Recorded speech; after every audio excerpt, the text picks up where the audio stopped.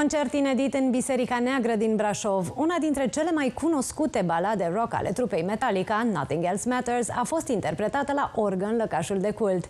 Transpunerea baladei rock îi aparține organistului Bisericii Negre. Clipul a devenit viral pe YouTube și a fost urmărit de zeci de mii de persoane.